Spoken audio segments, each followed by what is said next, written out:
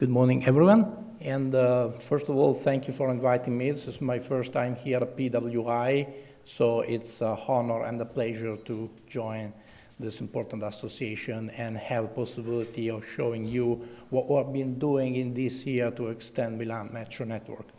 Uh, before I start, just uh, we were supposed to, there were supposed to be two of us. Uh, I'm, um, I work as a transportation planner, so I take care of most um, general and strategic level of rail planning. I take care of feasibility studies and mobility consultancies. Well, my colleague, uh, and I'm an architect, by the way, my colleague, engineer uh, Sergio Viganò, couldn't come for personal reason, but if he was here, he would have explained you something more uh, technically related to railways in themselves. Um, so first of all, who we are. Uh, name is MM nowadays. MM stands for Metropolitana Milanese because the company was founded more than 60 years ago in order to plan and construct Milan Metro network. Of course, all over the years we've been extending our range of, you know, um, works and engagements.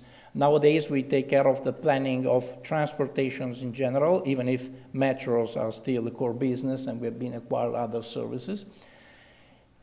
Uh, this is what we do. Uh, it's important to notice that we are an engineering company. Uh, we are owned 100% uh, by the city of Milan, the municipality, so we're what we call a public company, but uh, we are completely independent for what concerns the administration point of view, just like an INC. Um, we're an engineering company and we take care of, the, of infrastructure from the concept to the construction management which means that we're able to provide all kinds of services regarding rails and um, mass transit infrastructure from the very initial concept to the construction management and the building site supervision. What we don't do, uh, we're not operators and we're not constructors, so uh, we also work when it's, you know, uh, we advise the municipality in the process, you know, of tendering uh, works that, that are supposed to be built.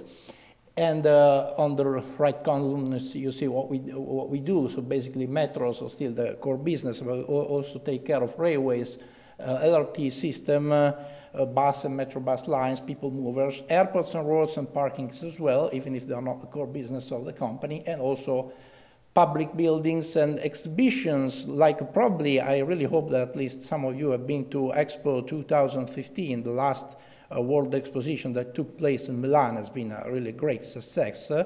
And um, apart from the infrastructural accessibility, which was, of course, our job, we also designed the entire uh, exposition site.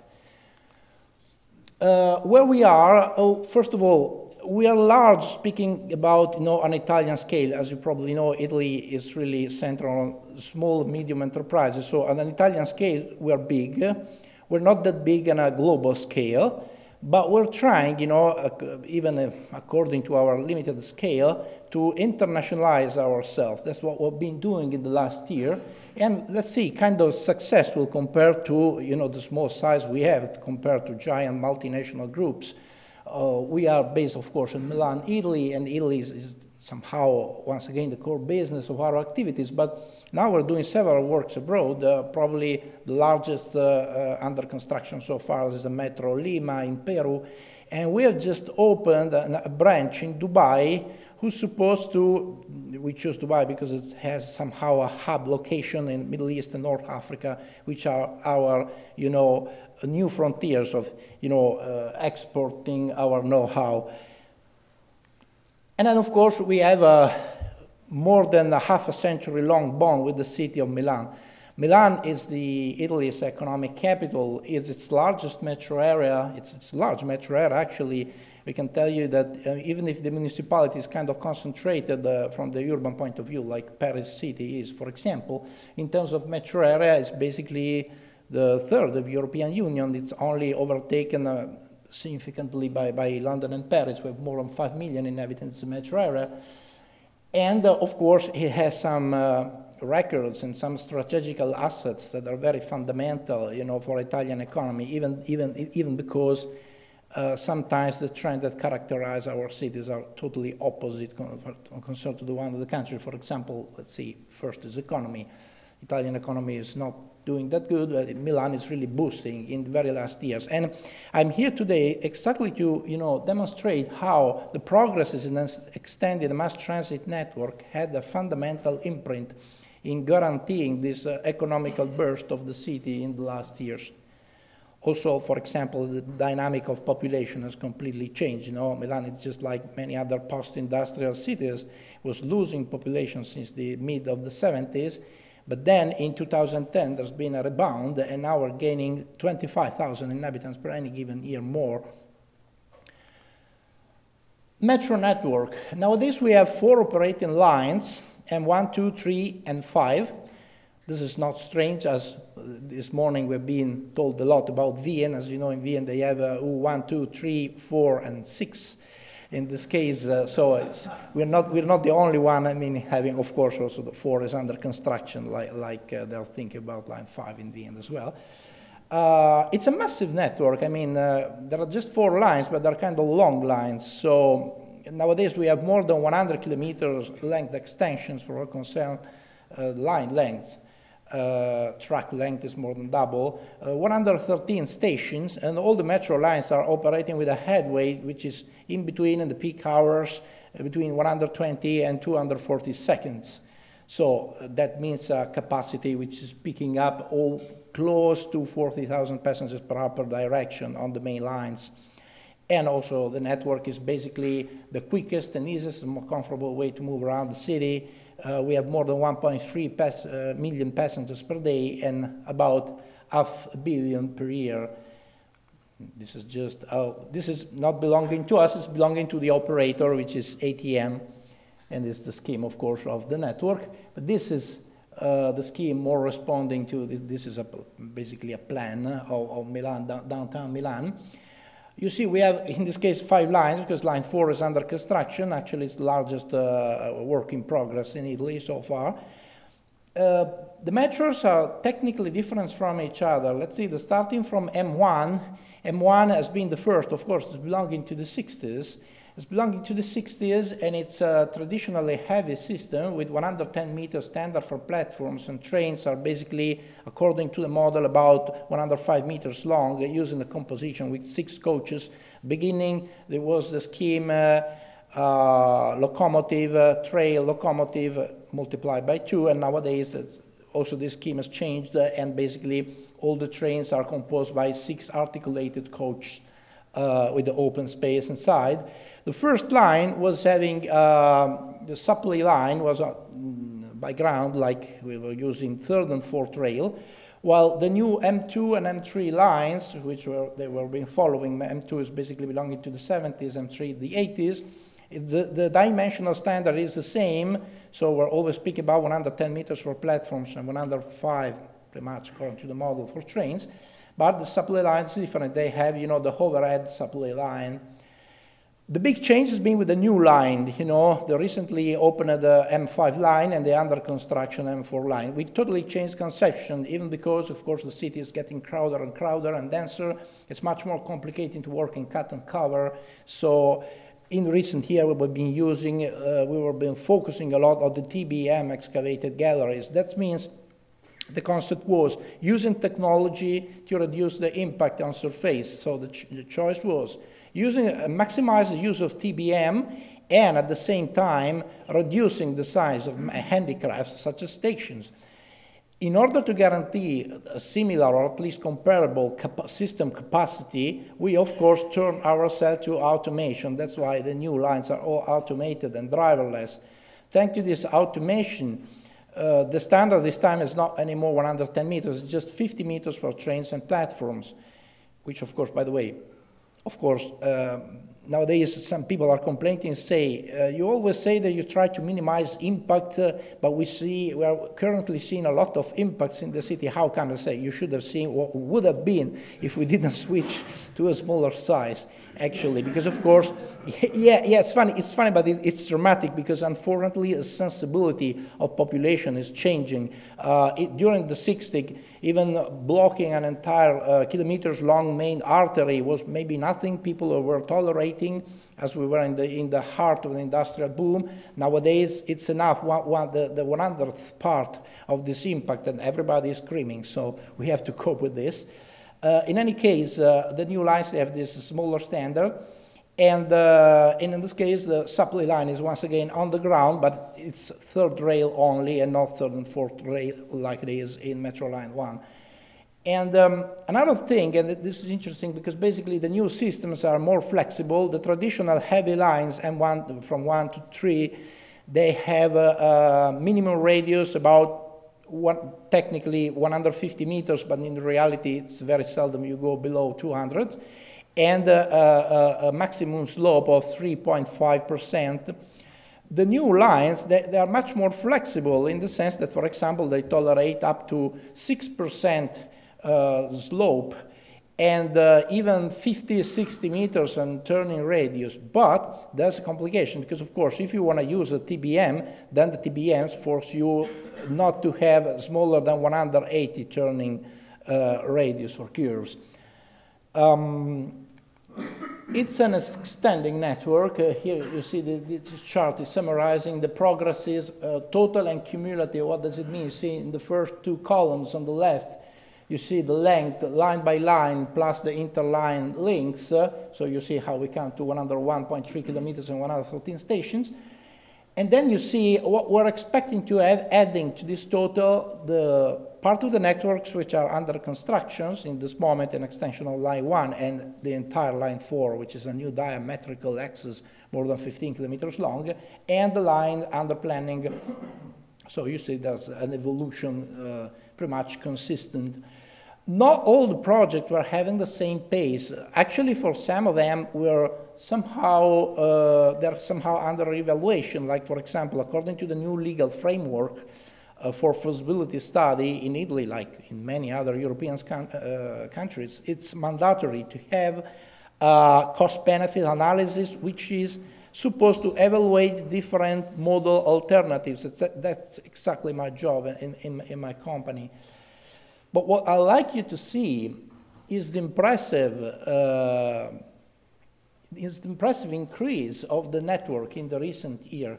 Basically, uh, the growth of the network was kind of steady in the last decade, still the year 2010. But then in 2010, we really had a boost for several reasons. Of course, the first reason was the ex World Exposition in, in 2015, which means, of course, financing, fundings, and so forth but also a completely different attitude from the municipality, which was betting a lot of this path to sustainable mobility. Here I have to open a parenthesis.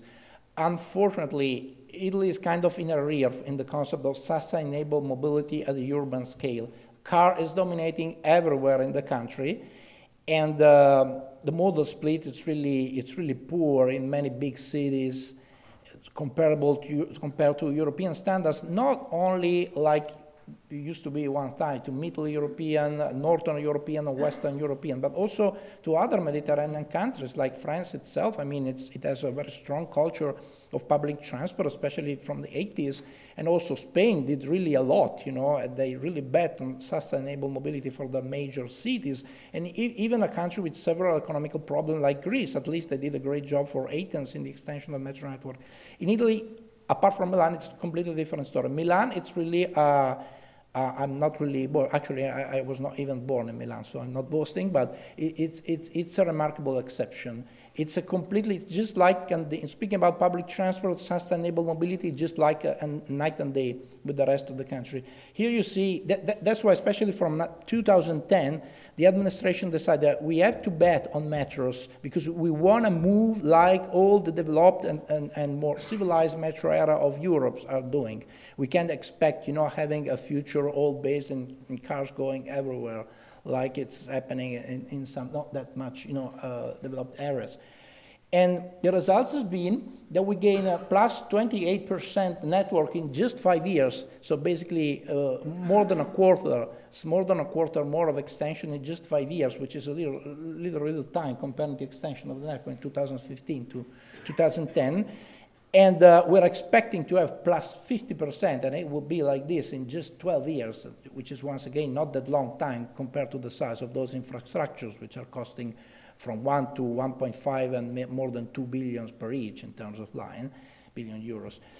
And um, that's what we call it, uh, an brackets, Asian trend in the sense that we are expecting to see this develop in the Asian countries. Like, of course, it's a completely different historical moment, but it's difficult to notice such a big increase in a, consolidated network in, in, a, in a Western country. But that's what, what's happening in Milan and, and still happening in these years. Uh, especially for what concern coverage, here you see uh, the mass transit coverage on Milan downtown, uh, summarizing, you know, the uh, metro network and the underground rail link, uh, which is basically the central segment of our Schnellbahns, I mean the suburban lines. Uh, we used to have one third of the urban surface covered in 2010. In 2015, we got to at least one half. Of course, I'm just speaking about mass transit system, excluding LRTs and buses and all the rest. And we expect to have more than three quarters by 2025. Speaking about comparison, uh, as I told you, I mean, it's a remarkable network because those characteristics, I mean, more than 100 kilometers and 115 stations so far, uh, makes of Milan basically uh, by, by, far the first network in Italy with an extension which is comparable to the, the, the, the sum of all the other six put together, but also European scale uh, we are the seventh in European Union for extension over more than 40 uh, networks, and also the continental scale, including, you know, the entire European continent, including, Russia and Turkey and everything. It, we are in the seventh place once again for what concerns stations number, and we're speaking about the entire planet, we are among the first 30 of uh, more than 200 networks.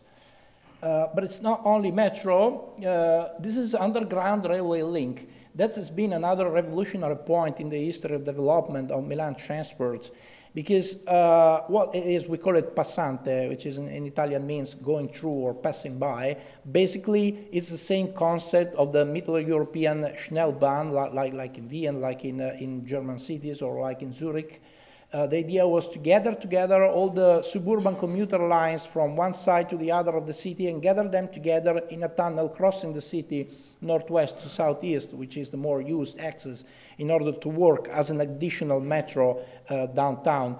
And in terms of you know civil works, it, it has been the largest metropolitan infrastructures ever built in Italy, and it's uh, completely planned by, by MM. It's more than 16.5 kilometers long. And more than 10 kilometers of tunnel in itself. And the standard is amazing because in this case, uh, I told you that the heavy system of, of the, the, heavy metros, they're having a 110 meter standards for platforms. Here, the, the, the standard is 250 meters. Uh, if we compare an underground station, you see the small pictures there. I'm sorry. I could have just put a little bit bigger ones, but if you come to Milan, you will see uh, actually they're really remarkable stations the volume of excavation is five times bigger of a heavy metro line. And please notice that the, the, level, the, the rail level is much deeper on average than the other metros. And in some cases, those stations have been excavated close to skyscrapers. So, I mean, from the civil work point of view, it's been a really hard challenge, especially in a very densely populated city such as Milan. And then, of course, uh, the underground railway link is uh, somehow cooperating with the Beltline and local railways in order to serve this system, which is basically the suburban lines of Milan. Of course, they are operated by the local railways, but as you can see, the system is really central of this uh, work, which was this underground railway link. This is how it is uh, right now. This is how it will be in 2025, much more lines. And uh, uh, this is a trend. You see, we're going to have plus 42% lines. And network and station will not be extending a lot because in this case, uh, we are more uh, focusing or exploiting more the, infra the, infrastructure that we have. Honestly, I, am glad to be with you now because we have an enemy in this that uh, would be great. You know, that's why I li like to take part in these international events because in Italy, unfortunately, we still have some uh, very restrictive rules, rail restrictive rules, that are totally unexisting in other European countries, and therefore they are limiting really the use that we can make of our own infrastructures. Like, for example, if I go to, uh, if I use the German Schnellbahn, if I use the RER in Paris, or once again the underground link in Zurich or, or the Schnellbahn in Vienna, I see a system which is basically working like a metro system. In uh, our system, in, from the infrastructural civil work and, and signaling point of view, is absolutely capable of doing the same, but the rules are not permitting it. So if you use Milan Underground Railway links, you will see two conductors per train, then the train is stopping. One is getting off, saying, okay, you go. It does like this. I mean, it's, uh, you're not seeing anything like this in the rest of Europe because, of course, uh, of course, there's, uh, you, you, use the signal that the, the, the signal that you can implement, you know. Uh, we are very slow. We, we, are kind of quick in planning and in adhering to new technology, but legal framework is not so uh, fast. To give another example, when I was discussing about the metro network, I, I pointed you the difference between the old lines and the new automated driverless lines. Driverless metro lines are a reality in European continent since the 80s. The first line, I mean, that started in Lille in France, and then, of course, in France there was a big uh, burst of the use of these lines, and now basically they're, they're going global everywhere in the world. I mean, cities are betting on automation.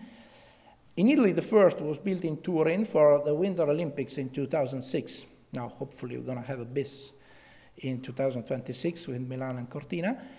But up to before 2006, it was forbidden to have a public transport network without a driver. So there was a long and complicated pro process of patenting this technology. Even if from the engineering point of view, nothing was missing. Then, of course, uh, our network is really working like an interface to the so-called metro system of the country, which is the high speed. In Milan, we have several, Milan is the major node for high, high speed system in Italy. Uh, we have, uh, wait, wait a second, which is the, um, uh, I guess it's this, um, the red dot, hopefully, yes. Uh, we have Central Railway Station, the main going through station and the gate station, the two existing, one under planning uh, so several high-speed train accessibility point, and the, the metro network and suburban rail network are working like an interface in order to maximize the interaction between these systems and reduce the use of cars downtown and around. Actually, MM also took care of the rail connection to the airport system. Both the two airports of Milan, um, uh, Malpensa Intercontinental Airport, it's uh, linked by a rail branch which has been planned by MM, and uh, under construction Metro Line 4 will connect Linate City Airport. In that case, it's going to be one of the most accessible city airports in the world because can you imagine? It's just we're going to have one train per every 90 seconds at the cost of uh, okay, it would be now it's one euro and a half, it would be two euros, but in any case, it's nothing, uh, bringing you downtown in less than 10 minutes. So it would be very, very, very convenient. And um, Milan is living really a, a, a urban and economic uh, fantastic period. You know, many, many areas are being completely refurbished. The, the skyline of the city has been completely changed. And in all these cases, all the strategical areas, in some cases related to formerly uh, railway used areas, or uh, revamping areas of industrial origin. There have been the new center business district and commercial district and sustainable neighborhood of the city, compared to the speculation which characterized the past, in which you know, car was the first issue. In this time, all these areas have been totally different conceived. The idea was to create carless places or at least cars are underground, but I mean, the, all the spaces are green and pedestrian, and all focused on the main station or accessibility point uh, characterized by interaction of metro and, and uh, suburban rails and so forth. So uh, a real revolution. The first example, uh, of course, this maybe uh, is common to other European reality, but I can guarantee you that in Italy it's been a total revolution. Um, Rome, for example, is very far from being like this, uh, absolutely, and, and, it's a real pity, of course. That's uh, World Exposition 2015. It's been really a triumphal success. We have more than 22 million visitors in, the, in, in just six, six months.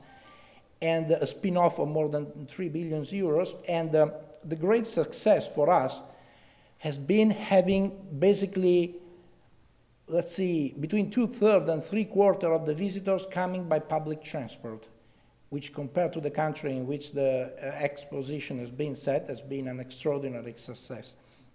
And then, of course, not only Expo, but also these are some new areas you see. There's this, um, the new Central Business District, uh, City Life District, uh, the future uh, Westfield Center is going to be the largest of Europe. And in all these cases, there's always a major uh, mass transit accessibility, accessibility node underground. Uh, of course, all of these issues and trends are managed by the Sustainable Mobility Plan. Milan has been the first in managing this plan. Uh, they were mandatorily by law. They were called uh, in Italian just PUM, uh, Urban Mobility Plan. Milan has been the first adding the S for sustainability. It's not just maquillage, but it's been really a radical change into the address of the plan such as this one. Actually, of course, the plan has been set by the municipality, but my company uh, just did consultancy. I, I, personally did it, so I, I'm sure of what I'm telling you. Uh, the main issue was can, can, seems to be easy, but it has been really a Copernican revolution. Italy say focus of public transport. We, we, we're not only offering an alternative, like sometimes the more, let's see, advanced administration used to think. It, it's really more, let's see, we, want to, we, we also want to diminish the number of people that are using the car at the urban scale. And of course, all the infrastructure that I've been showing you, they were the base for making a, a success of such a politics. Of course, uh, we have a lot of trips in Milan. It, it, it's really the, the, the, first area, not only for size, but also for mobility in the entire country. But the results are speaking very clearly. This is what we're really proud about uh, this is the modal split on Milan downtown in 2013, so I'm not even saying nowadays. I'm, I'm, I'm portraying here 2013 because it's the last complete survey that we had. We're going to have a, a, a, new one soon, and then we have some uh, um, more detailed uh, survey, not complete, that are witnessing that this is getting even better, actually. As you can see, the, total, the, the majority, the absolute majority of the trips are made by public transport, 57%. Cars are just 30%. This uh, light blue slice uh, is bicycle, biking. So if you add uh, public transport and bike, you get 63. That basically means that in 2013, almost two-thirds of the trips within the city were basically green. And I'm speaking about 2013. Now, of course, I don't have a total survey, but we have, we have some, you know, esteems that I can tell you that this 57 nowadays is close to 60, and this is probably maybe 7. So I, we, we, can see that today we, we reached the goal of having uh, two-thirds of the trips of the city um, by green modes. Of course, uh, but this is like this in all the world cities, uh, the story is it's not so positive if you if you consider the entire metro area where the urban density is much lower and uh, uh, a very expensive infrastructure such as a metro of urban rail, you know, makes more difficult, you know, to reach in a complete way all the, all, the areas.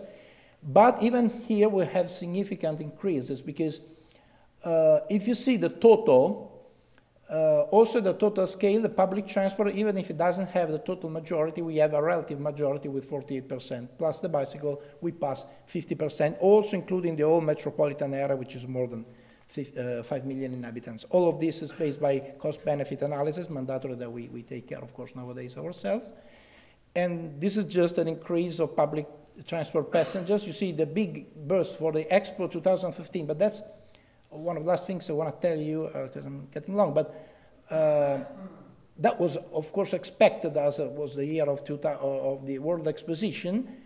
But you see now, in 2017, the trend is is actually continuing and it, it's also overtaking the year of Expo means that we have been successful in changing the habits of commuters and, and, and, and city users.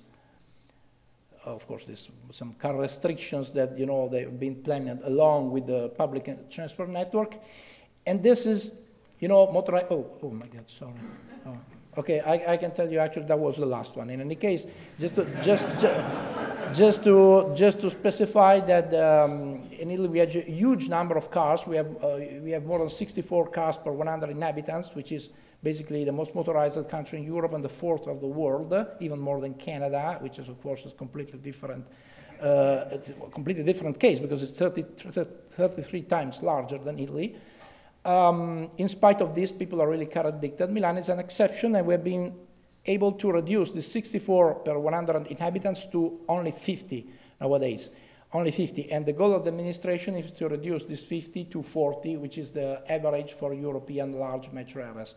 We will be successful? We'll think so, because we've been uh, surveying the new patent and, and driving license of, of uh, young people in Milan, 18 to 21, and we have been noticing for the first time a drop of 50%, uh, which is what happened in New York many years ago, and uh, New York Times was stating millennials don't drive, it's happening in Milan, so forth.